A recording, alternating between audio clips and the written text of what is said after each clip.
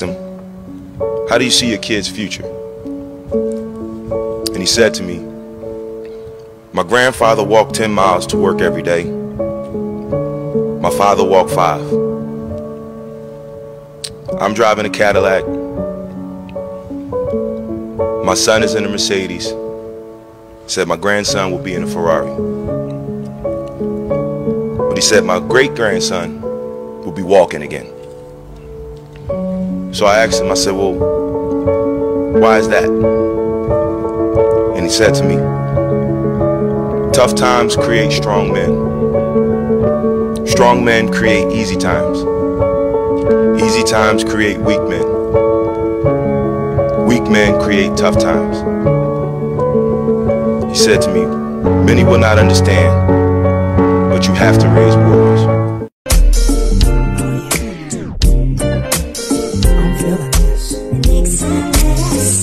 Professor, I will test you in the worst way. Don't bring a scantron, it's pop quizzes all day. Cause of our chemistry, we do biology. What's happening, fam? LAR movement still moving. Subscribe or die trying. You see the thumbnail, you see the clip. The, the selfishness caused these tough times.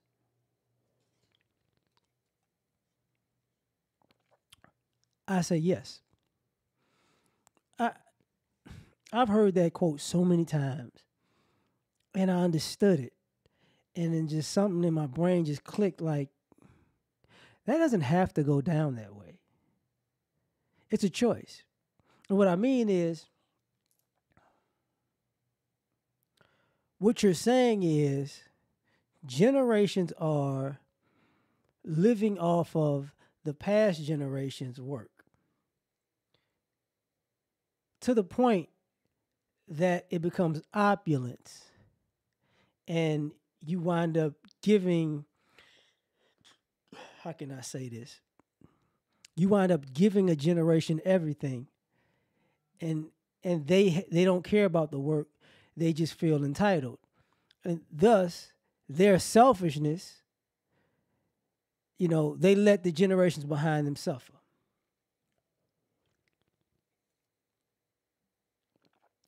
And then I thought about it like, why not just skip over the selfish people? Why not just say, you know what? I see where this is going. I'll leave you an inheritance, but you can't you but you're not inheriting the whole shebang. You know. I'm gonna put this in a trust for such and such. What what's the issue with that? So one man walks, the next man drives a car, the next man has a quote unquote Cadillac, the next man has a Benz, the next man has a Ferrari.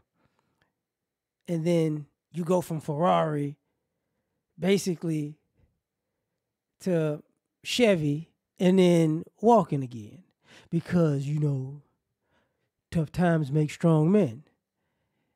It's like, well, what about smart men could mitigate the tough times?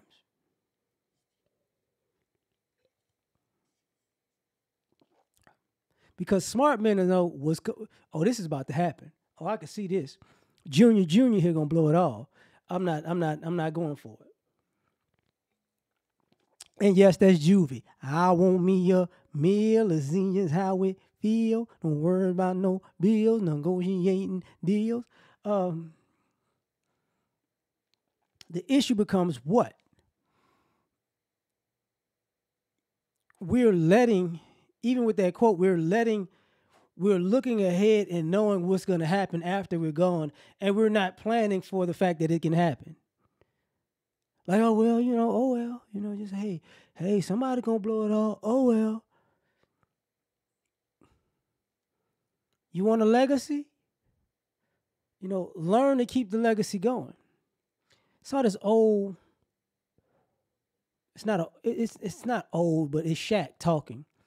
When Shaq was telling, there was like his man was telling him the difference between rich and wealthy, and he's like, Shaq, you're rich, I'm wealthy, and he's like, what's the difference?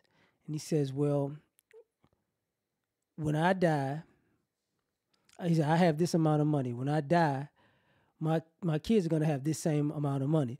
When when they die, my grandkids are gonna have the same amount of money. When they die, my great grandkids gonna have the same amount of money. And then Shaq was like, Well, how do you do that? And then he showed him, he said, you know, I don't live off of he basically lives off 25% of what he takes home. So he pay, so you know, so he lives off of 25% and the 75 is for the generations after. But this has to but it has to be a plan. Think about it, you know. 25 go to the kids, 25 go to the grandkids, 25 go to the great grandkids. There you go. And I'm talking about percentage. You get what I'm saying? So you can mitigate the tough times because if you give it all, if you give all the money to the kids and one of the kids blow it, or they don't blow it, they spoil their kid and their kid's entitled, they're gonna blow it, and then they're gonna have kids and the kids gonna struggle. You know? And all they're gonna hear is the stories about how we came from money and we came from this and we came from that. And it's like, well, where is it at? Let's see what had happened was you know what I'm saying? I was I was partying, you know, I was snorting a whole lot of coke. Uh, I was traveling the world. Uh, yeah, yeah, I did it all. Excuse me. So they ruin it.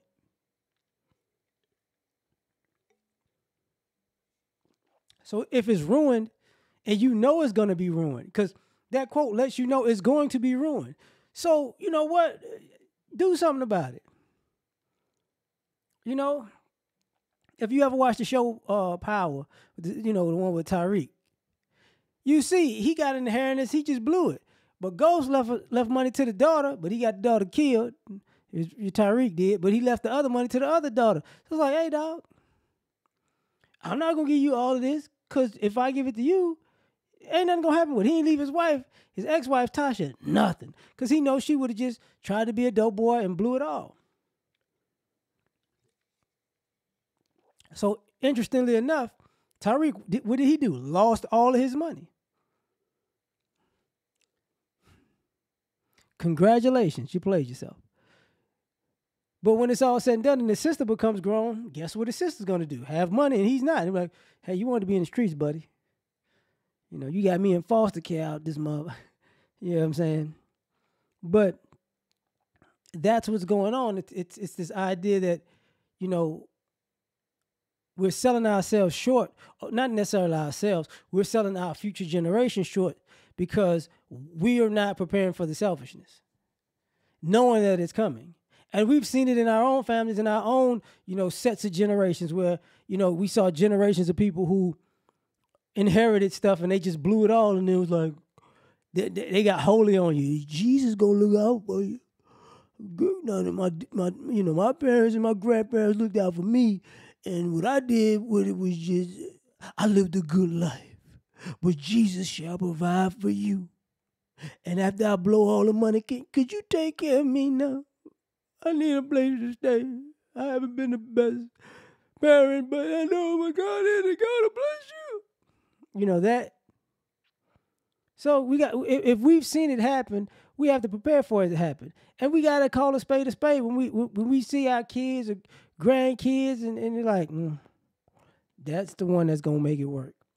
And they go, mm, nope, that's a loser.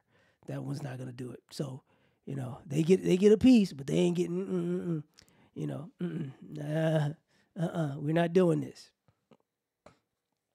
So I'm just saying, yeah, yeah. Sometimes the tough times aren't created just by weak men; they're created by selfishness and entitlement. So if we kill the selfishness and entitlement, we plan for that, you know, we kill the, the propensity to have a bunch of uh, uh, weak men to put strong men in that in that in that bad position.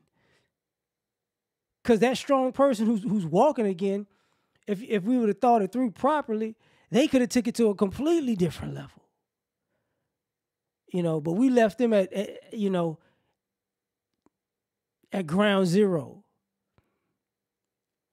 you know, while Dum Dum got to do whatever he wanted to do.